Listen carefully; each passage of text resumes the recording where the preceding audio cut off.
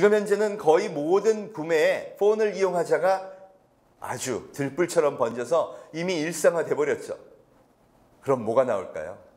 미래 산업의 쌀이라고 불리는 데이터가 수천억 개씩 중국에서 지금 쏟아지고 있는 겁니다. 그것이 중국의 미래 혁신을 선도하고 있는 것이죠.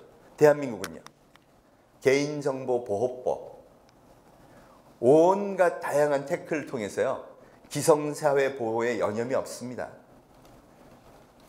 지금 거의 청소, 청년 실업 문제가 재난 상태래요. 여러분 저렇게 쏟아지는 신산업들은요. 포노사피엔스들이 잘하는 영역입니다. 이미 중국과 미국에서 확실히 드러난 증거들이에요.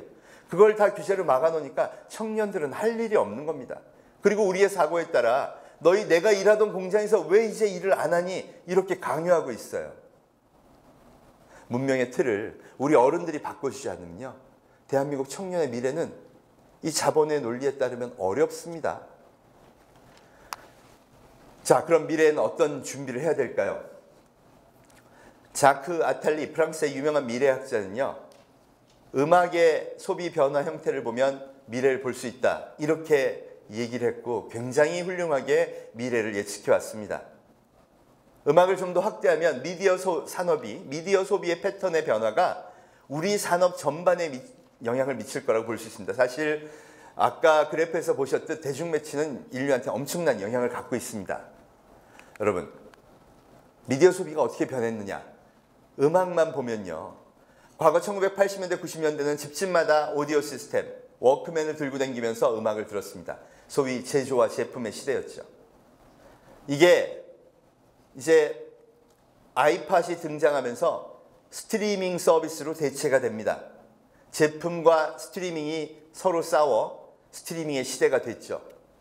제조의 시대가 아닌 인터넷 플랫폼 스트리밍의 시대로 변화했고요. 이제 TV까지 확대되면 미국에서는 이미 50% 이상의 시민이 과거 방송사에서 내가 알아서 보내줄게 하던 그런 TV 시대를 끝내버렸습니다.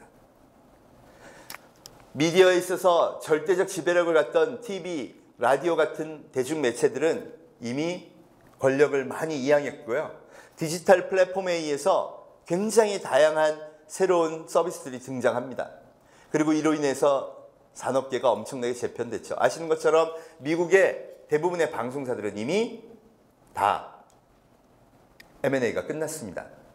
대한민국도 마찬가지입니다. 이미 2016년 네이버의 광고 매출이요. 신문 3,700개, 지상파 방송의 광고비 합계를 넘어섰습니다. 그리고 작년 더 심화되었죠. 그런데 그럼 네이버가 전부 지배하겠구나. 천만에요.